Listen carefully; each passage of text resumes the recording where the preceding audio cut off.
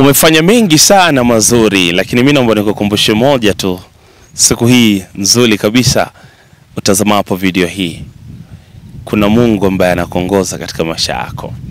Je, ushachukua nafasi ya kwenda kumshukuru? Je, umechukua nafasi ya kwenda kutoa kupitia kile ulichokipata? Kukumbusha tu wenye heri mkono utoao kuliko upokeao.